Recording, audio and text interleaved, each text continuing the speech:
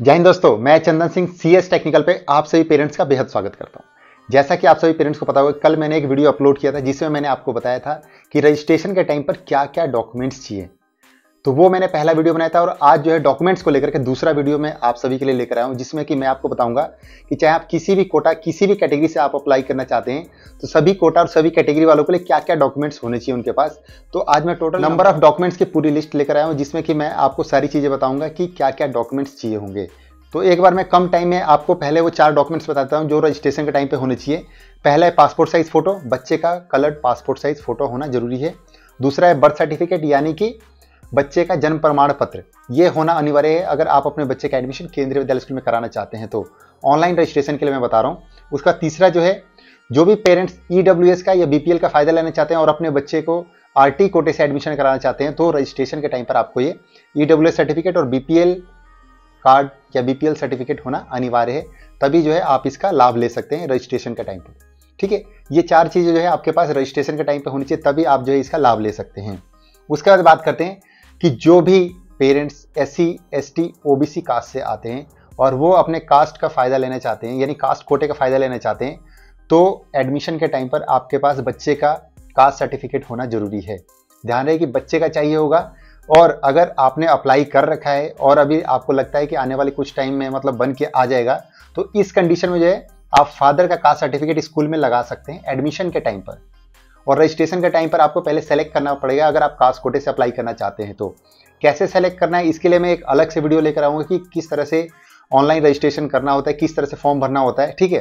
तो कास्ट के लिए आप समझ गए कि यदि आपको कास्ट कोटे का फ़ायदा लेना है तो आपके पास बच्चे का कास्ट सर्टिफिकेट होना अनिवार्य है। ध्यान रहे कि अगर बच्चे का आपने अप्लाई कर रखा है और आपको लगता है कि एडमिशन के टाइम पर बन के आ सकता है या एडमिशन होने के एक दो महीने के अंदर बन के आ सकता है तो इस कंडीशन में आप जो है फादर के कास्ट सर्टिफिकेट के बेस पर जो है आप बच्चे के एडमिशन करा सकते हैं, लेकिन मदर का कास्ट सर्टिफिकेट नहीं चलेगा। इस बात का आप ध्यान रखिएगा। बहुत सारे पेरेंट्स ऐसे थे जिन्होंने पूछा था कि मदर का कास्ट सर्टिफिकेट तो क्या चल जाएगा? तो मैं आपको बता दूँ कि मदर का कास्ट सर्टिफिकेट नहीं चलेगा। बच्चे का चाहिए होगा, और बच्चे का नहीं तो फादर का लगा सकते हैं। उसके बाद स्कूल के द्वारा आपको एक टाइम लिमिट दे दिया जाए कि इतने टाइम लिमिट के अंदर आपको जो है बच्चे का कास्ट सर्टिफिकेट ला करके स्कूल में जमा करना पड़ेगा। इस बात का आप ध्यान रखिएगा। ठीक है? उसके बाद आधार कार्ड। आधार कार्ड बहुत ज़रूरी हो जाता है कि बच्चे का आधार कार्ड होना अनिवार्य है, ठीक है? जैसा कि आपको पता होगा, आज की डेट में आप कहीं भी चले जाएँ, हर चीज़ के लिए, चाहे आप सिम कार्ड की बात कर लें या कुछ और डॉक्यूमेंट्स या कोई फॉर्म भी भरे जाते हैं तो आधार कार्ड जो है मैंडेटरी कर दिया गया है। तो केंद्रीय विद्यालय स्कूल में एडमिशन के लिए जो है आधार कार्ड भी मैंडेटरी है। बच्चे का आधार कार्ड चाहिए होगा, साथ ही साथ पेरेंट्स में से किसी एक का चाहिए होगा, जिसके बेस पर आप एडमिशन के लिए अप्लाई कर रहे हैं लाइक अगर आप किसी कास्ट कोटे से अप्लाई किए हैं या स्टेट के हों, चाहे आप सेंट्रल के अगर इंप्लॉई हैं और आप अपने कोटे से बच्चे के एडमिशन के लिए अप्लाई कर रहे हैं तो जिसका कोटा आपने लगाया, उसका आधार कार्ड चाहिए होगा। यानी कि बच्चे के माता पिता में से जिस भी, जिसके भी कोटे से आपने एडमिशन के लिए अप्लाई किया, उसका आपको आधार कार्ड लगाना पड़ेगा। इस बात का ध्यान रखिएगा। उसके बाद जो अगला डॉक्यूमेंट आता है, वो होता है वैलिड एड्रेस प्रूफ आपके पास एक वैलिड एड्रेस प्रूफ होना अनिवार्य है। यदि आप अपने बच्चे के एडमिशन के लिए केंद्रीय विद्यालय स्कूल में अप्लाई करते हैं तो ध्यान रहे कि जो एड्रेस प्रूफ होगा, वो होगा बच्चे के माता या पिता में से किसी एक का नाम का होना चाहिए।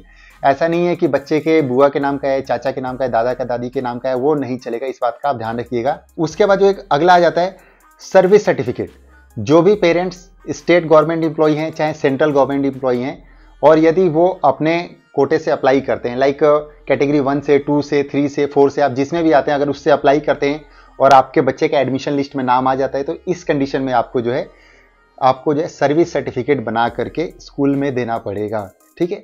कैसे बनेगा? ऑलरेडी मैंने वीडियो पहले बना रखे हैं और आगे आने वाली दिनों में वीडियो बना करके आप लोग साथ शेयर भी करूँगा कि कैसा फॉर्मेट होता है और वैसे सर्विस सर्टिफिकेट ईजिली बन जाता है, आप अपने डिपार्टमेंट से बनवा सकते हैं, लेकिन फिर भी मैं फॉर्मेट आप लोगों के साथ आगे आने वाले दिनों में शेयर करूँगा, जिससे कि आपको पता चल जाए कि किस तरह का फॉर्मेट होता है सर्विस सर्टिफिकेट का। उसके बाद एक और बहुत महत्वपूर्ण चीज़ बताना चाहूँगा कि जो भी गवर्नमेंट इंप्लॉयज़ है, जो भी गवर्नमेंट इंप्लॉई हैं, उनका अगर ट्रांसफ़र हुआ है पिछले सात साल में तो आप जो है रजिस्ट्रेशन के टाइम पर नंबर ऑफ़ ट्रांसफ़र की डिटेल भी आप भरें। जितने ज़्यादा आपके ट्रांसफ़र होंगे पिछले सात साल में, उतने ज़्यादा एडमिशन के चांसेस आपको बढ़ जाते हैं।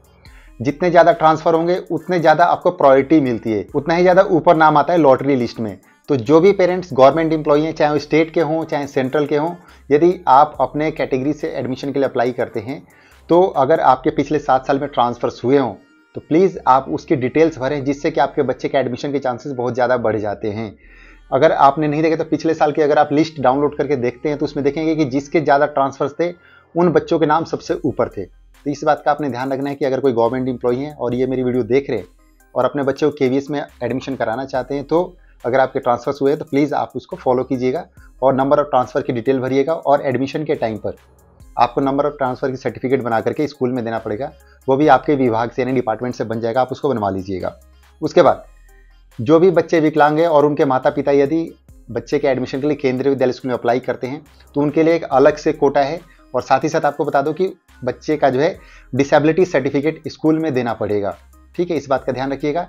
डीए कोटा एक अलग से है, उसके लिए अलग से मतलब सीट रिज़र्व है। साथ ही साथ आपको जो है बच्चे का सर्टिफिकेट भी स्कूल में देना पड़ेगा, इस बात का आप ध्यान रखिएगा।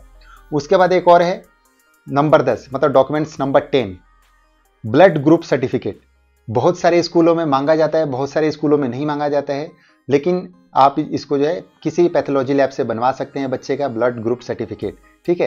जब आप रजिस्ट्रेशन करेंगे ऑनलाइन रजिस्ट्रेशन तो वहाँ पर आपको ऑप्शनल के तौर पे दिखता है कि बच्चे का ब्लड ग्रुप क्या है, आप उसमें सेलेक्ट कीजिए। अगर आपको पता है तो करना है अदरवाइज़ आप छोड़ भी सकते हैं क्योंकि ऑप्शनल होता है, ठीक है? लेकिन बहुत सारे स्कूल ऐसे होते हैं जो आपसे ब्लड ग्रुप सर्टिफिकेट मांग लेते हैं तो आप किसी पैथोलॉजी लैब से आपको ईजिली बना करके मिल जाएगा तो आप इसको बनवा लीजिएगा।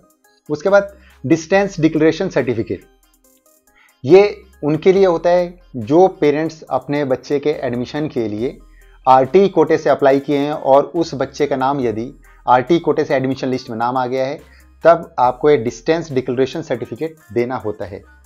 ये क्यों देना होता है? क्योंकि सिर्फ़ आरटी कोटा एक ऐसा है जिसके लिए डिस्टेंस का क्राइटेरिया रखा गया है केंद्रीय विद्यालय संगठन के द्वारा। यदि जिस स्कूल में आप एडमिशन के लिए अप्लाई कर रहे हैं, वो स्कूल अगर अर्बन एरिया में है तो पाँच किलोमीटर रेडियस का क्राइटेरिया रखा गया है। और यदि वो स्कूल जो है रूरल एरिया में है, जिसमें आपने एडमिशन के लिए अप्लाई किया है तो उसके लिए जो है आठ किलोमीटर रेडियस का जो है क्राइटेरिया रखा गया है। इस बात को आपको पता होना चाहिए। टोटल ये ग्यारह डॉक्यूमेंट्स हैं जिसके बारे में आपको पता होना चाहिए और मैं आपसे निवेदन करूँगा कि जो मैंने डॉक्यूमेंट्स बताए हैं, ये अगर आपने अभी तक नहीं बनाए हैं तो प्लीज़ आप टाइम से इन डॉक्यूमेंट्स को बना लीजिए, क्योंकि कुछ डॉक्यूमेंट्स ऐसे होते हैं जिनको कि बनाने में टाइम लगता है और बहुत सारे पेरेंट्स ऐसे होते हैं जिनको कि ये जो है लास्ट टाइम में पता चलता है कि ये डॉक्यूमेंट भी और फिर उनको जो है टाइम नहीं मिल पाता है बनाने के लिए। इसलिए मैंने जो है, इस साल जो है, बहुत पहले से ही वीडियो बनाने शुरू करती हैं, ताकि जिन पेरेंट्स को अपने बच्चे को के में पढ़ाना है, उन सबको जो है टाइम से पता चल जाए क्या क्या डॉक्यूमेंट्स बनाने हैं, कैसे बनाने हैं। तो आप जो है, इस वीडियो के माध्यम से जितने भी आपको हेल्प मिलेगी, उससे आप जो है अपने डॉक्यूमेंट्स तैयार कर सकते हैं रजिस्ट्रेशन स्टार्ट होने से पहले। एक बार मैं दोबारा से रिपीट कर देता हूँ। Passport size photo birth certificate EWS या BPL certificate caste certificate Aadhaar card parents का और चाइल्ड का, बच्चे का। उसके बाद वैलिड एड्रेस प्रूफ होना चाहिए service certificate transfer certificate DA यानी disability certificate blood group certificate और डिस्टेंस डिक्लेरेशन सर्टिफिकेट आपके लिए जो सर्टिफिकेट बनता है, आप उसको बनवा लीजिएगा, क्योंकि मैंने जो लिस्ट बताई है सभी के लिए बताइए आपको पता होगा कि आप किस कोटा, किस कैटेगरी में आते हैं, आप उस हिसाब से ये डॉक्यूमेंट्स बना सकते हैं। जो एस सी वाले होंगे कास्ट सर्टिफिकेट बनवा लेंगे ओबीसी वाले कास्ट सर्टिफिकेट बना लेंगे। जो गवर्नमेंट इंप्लॉय होंगे, वो अपना सर्विस सर्टिफिकेट और नंबर ऑफ़ ट्रांसफ़र का सर्टिफिकेट बनवा लेंगे। और जो ई e के लिए बीपीएल के लिए एलिजिबल होंगे, वो अपना ई e सर्टिफिकेट और बीपीएल कार्ड वगैरह बनवा लेंगे। और उसके बाद आधार कार्ड तो सबके लिए मैंडेटरी है। सभी का लगेगा, चाहे आप किसी भी कोटा, किसी भी कैटेगरी से अप्लाई कर रहे हो। डिसेबिलिटी सर्टिफिकेट ये उनके लिए जो बच्चे दिव्यांग है, उनका जो है डिफरेंटली डिसेबिलिटी सर्टिफिकेट लगेगा। और डिस्टेंस डिक्लेरेशन सर्टिफिकेट उनका लगता है। जो बच्चे जो है आरटी कोटे से एडमिशन लेते हैं, उनके लिए और इसके साथ साथ एक और जो मैं बताना भूल गया था एस के लिए। एस का एक एफिडेविट लगता है सिंगल गर्ल चाइल्ड का एक एफिडेविट लगता है और ये जो एफिडेविट है, आपको जो है एडमिशन लिस्ट में नाम आने के बाद बनवाना है और स्कूल में जमा करना है। ठीक है, आप उसको पहले से मत बनवाइए क्योंकि अगर आप बनवाते हैं और आपके बच्चे का अगर नाम नहीं आता है एडमिशन लिस्ट में तो इस कंडीशन में जो है आपका जो सर्टिफिकेट है वेस्ट चला जाएगा, उसका कोई बेनिफिट नहीं होगा। तो इसलिए आप जो एडमिशन के लिए ऑनलाइन रजिस्ट्रेशन करेंगे, उसमें आपने SGC के लिए अगर एलिजिबल हैं, उस पर टिक कर दीजिएगा। और जब आपके बच्चे का एस कोटे से लॉटरी लिस्ट में नाम आ जाएगा, तब आपने जो है एस के लिए एक सर्टिफिकेट यानी कि एफिडेविट बनवाना है कोर्ट से, कचहरी से जाकर के, और वो ला करके स्कूल में आपने जमा करना है एडमिशन वाले दिन। तो ये डॉक्यूमेंट्स मैंने आपको सारे बता दिया। वीडियो के लास्ट में मैं आपको ये जो डॉक्यूमेंट्स की लिस्ट है, आपको यहाँ पे डिस्प्ले पे दिखा दूँगा। आप चाहें तो उसका स्क्रीनशॉट ले लीजिएगा और उसको सेव कर लीजिएगा। और जो भी आपके लिए एलिजिबल है, जो भी डॉक्यूमेंट्स आपको लागू हैं, वो आप बनवा लीजिएगा, जिससे कि आपको आने वाले दिनों में एडमिशन का टाइम पर बहुत बेनिफिट मिलेगा और टाइम से आप उसको डॉक्यूमेंट्स को तैयार भी कर सकते हैं। फिर भी अगर आपका कोई सवाल रह जाता है तो आप मुझे कमेंट बॉक्स में कमेंट करें या इंस्टाग्राम फेसबुक पेज पर और टेलीग्राम पे और व्हाट्सअप पेज पे आप मुझे फॉलो कर सकते हैं। इंस्टाग्राम पे भी आपको टाइम टाइम पे अपडेट मिलते रहेंगे। साथ ही साथ फेसबुक पेज पे भी मैं वीडियो अपलोड करता हूँ जिससे कि अगर कोई पेरेंट्स यूट्यूब पे नहीं देख पाए हो, यहाँ से मिस हो गया हो तो फेसबुक पेज पर अगर वहाँ जाके देखते हैं तो इससे क्या होगा कि वहाँ से भी उनको टाइम से अपडेट मिल जाएगी हाँ मैंने ये नई वीडियो अपलोड किया था। ठीक है? तो फेसबुक पे आप मुझे फॉलो कीजिए। सबके लिंक आपको वीडियो के डिस्क्रिप्शन में मिल जाएँगे। तो आजकल बस इतना ही। वीडियो अच्छा लगे तो प्लीज़ इसको लाइक कीजिएगा और चैनल को सब्सक्राइब कर लीजिए क्योंकि यहाँ से आपको नई नई जानकारी मिलती रहेंगी। और आगे आने वाले दिनों में लाइव सेशन भी करूँगा जिससे कि आपको बहुत सारा फ़ायदा मिलेगा और आपको आमने सामने आपके सवालों के जवाब मिल जाएँगे। तो आज के लिए बस इतना तब थैंक यू बाय जय हिंद, जय भारत।